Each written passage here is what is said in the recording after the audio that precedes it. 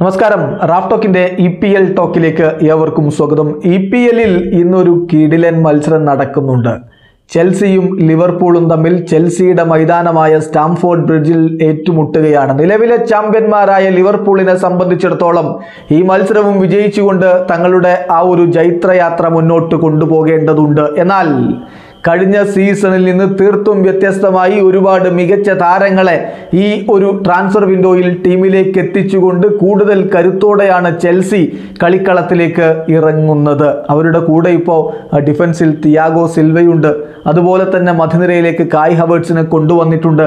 മുന്നേറ്റ നിരയിൽ Timo Werner ഉണ്ട്. അങ്ങനെ ശക്തമായ ഒരു സ്കോഡും കൊണ്ടാണ് അവർ കളിക്കളത്തിലേക്ക് പോകുന്നത്. കഴിഞ്ഞ സീസണിൽ ലിവർപൂളും ചെൽസിയും തമ്മിൽ ഏറ്റുമുട്ടിയ സമയത്തെ പ്രശ്നങ്ങൾ നമ്മൾ കണ്ടതാണ്. അന്ന് പിന്നീട് ഫ്രാങ്ക് ലംബാർഡും അന്നത്തെ ദിവസം ഫ്രാങ്ക് ലംബാർഡും യർഗൻ ക്ലോപ്പും തമ്മിൽ അങ്ങോട്ടും ഇങ്ങോട്ടും വാഗ്വാദങ്ങൾ ഉണ്ടായി. യഥാർത്ഥത്തിൽ ആ സംഭവം ഉണ്ടാകുന്നത് ഫ്രാങ്ക് ലംബാർഡും ലിവർപൂളിന്റെ ബെഞ്ചും തമ്മിലാണ്. പിന്നീട് ലിവർപൂളിന്റെ ബെഞ്ചിനെതിരെ വളരെ ശക്തമായ ഒരു ആക്ഷേപം പ്രസ് മീറ്റിൽ പോലും ഫ്രാങ്ക് ലംബാർഡ് ഉന്നയിക്കുകയുണ്ടായി. അതിന് മറുപടിയായി യർഗൻ ക്ലോപ്പ് ചില കാര്യങ്ങൾ പറഞ്ഞു. അങ്ങനെ വല്ലാത്തൊരു അവസ്ഥയിലാണ് കഴിഞ്ഞ സീസണിലെ ആ ഒരു മത്സരം അവസാനിച്ചത്. ഈ സീസണിലും യർഗൻ ക്ലോപ്പ് ചെൽസിയുടെ ട്രാൻസ്ഫറുകളെ പറ്റി ചില കാര്യങ്ങൾ പറഞ്ഞു. അതിന് അതേ ഭാഷയിൽ അതേ നാണയത്തിൽ മറുപടി കൊടുത്തു ഫ്രാങ്ക് ലംബാർഡ്.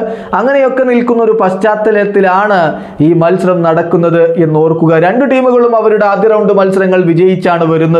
ലിവർപൂളിനെ സംബന്ധിച്ചിടത്തോളം മുഹമ്മദ് സലാഹിന്റെ ആട്രിക് പിറന്ന മത്സരത്തിൽ അവർ ഇപ്പോൾ പ്രൊമോട്ട് ചെയ്ത് വന്നിട്ടുള്ള ലീഡ്സ് യുണൈറ്റഡിനോട് രക്ഷപ്പെട്ടു പോവുകയായിരുന്നു. മൂന്ന് നാലാണ് ആ മത്സരത്തിലെ ഒരു സ്കോർ ലൈൻ മൂന്ന് ഗോളുകൾ മൂന്ന് ഗോളുകൾ ഓപ്പൺ പ്ലേയിലൂടെ വഴങ്ങി എന്നത് എടുത്തു പറയേണ്ട കാര്യമാണ്. അത് തീർച്ചയായും ക്ലോപ്പിന്റെ ഉറക്കം കെടുത്തുന്ന ഒരു കാര്യവും തന്നെയായിരിക്കും. അതേസമയം മറുഭാഗത്ത് മികച്ച വിജയമാണ് ബ്രൈറ്റണെതിരെ ഒന്നിനെതിരെ മൂന്ന് ഗോളുകൾക്കായിരുന്നു ചെൽസിയുടെ വിജയം. അങ്ങനെ ആത്മവിശ്വാസത്തോടെയാണ് ചെൽസി വരുന്നത്.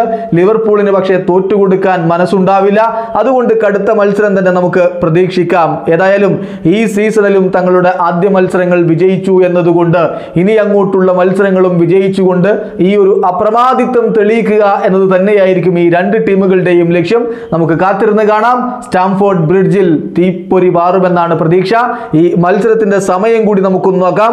ഇന്ത്യൻ സമയം രാത്രി ഒമ്പത് മണിക്കാണ് ഈ മത്സരം ആരംഭിക്കുക. ഏതായാലും കിടിലൻ മത്സരമായിരിക്കുമെന്ന കാര്യത്തിൽ സംശയം വേണ്ട. വീഡിയോ അവസാനിക്കുന്നു. ഫുട്ബോൾ ലോകത്തെ കൂടുതൽ വിശേഷങ്ങളുമായി റാഫ് ടോക്സ് വീണ്ടും എത്താം.